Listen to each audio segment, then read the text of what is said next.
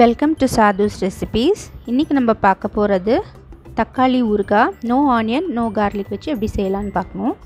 ஒரு கிலோ தக்காளி நல்லா இந்த மாதிரி க்யூப்ஸாக கட் பண்ணி வச்சுக்கோங்க.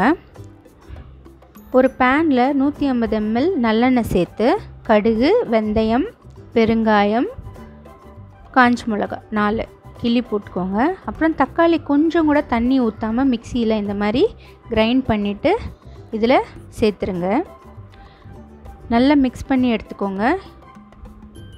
அந்த பெருங்காயம் எல்லாம் இதில் நல்லா மிக்ஸ் ஆகணும். ஒரு பத்து நிமிஷத்துக்கு அப்புறம் இந்த மாதிரி கொதி வரும்போது ரெண்டு டீஸ்பூன் ஃபுல்லாக உப்பு சேர்த்துக்கோங்க. ஒரு டீஸ்பூன் மஞ்சள் தூள் சேர்த்துக்கோங்க. ஒரு டீஸ்பூன் மிளகாய் தூள் சேர்த்துக்கோங்க. நல்லா மிக்ஸ் பண்ணி விட்டுட்டு லோ ஃப்ளேமில் இந்த மாதிரி மிக்ஸ் பண்ணிகிட்டே இருந்துங்க. கொஞ்சம் மூடி வச்சுருங்க பத்து நிமிஷத்துக்கு.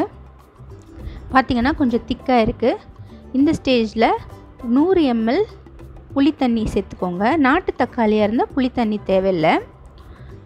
இந்த மாதிரி கொதி வரும்போது மறுபடியும் ரெண்டு டீஸ்பூன் வெல்லம் பவுடர் இதில் ஆட் பண்ணிங்கன்னா அந்த புளிப்பு உப்பு காரம் சேர்ந்ததுன்னா ஒரு நல்ல டேஸ்ட் கொடுக்கும். இதே மாதிரி மிக்ஸ் பண்ணிகிட்டே இருங்க. கொஞ்சம் கொஞ்சமாக தண்ணி இழுத்துருச்சு. நல்ல ஒரு திக் பேஸ்ட்டாக ரெடி ஆகிடுச்சு இப்போது ஆல்மோஸ்ட் நம்மளோட ஊறுகாய் ரெடி இப்போ என்ன பண்ணணும்னா இந்த திக்கானதுக்கப்புறம் ஒரு டேபிள் ஸ்பூன் நல்லெண்ணெய் மறுபடியும் கொஞ்சம் சேர்த்துட்டு நல்ல லோ ஃப்ளேமில் கை விடாமல் அதை மிக்ஸ் பண்ணிகிட்டே இருங்க. நம்மளோட நோ ஆனியன் நோ கார்லிக் தக்காளி ஊறுகாய் ரெடி ஆயிடுச்சு. இது தண்ணி படாமல் இருந்ததுன்னா ஒரு பத்து நாளைக்கு நல்லாயிருக்கும் எல்லோரும் வீட்டில் ட்ரை பண்ணி எப்படி இருக்குன்னு உங்கள் கமெண்ட்ஸில் எனக்கு ஷேர் பண்ணுங்கள் தேங்க்யூ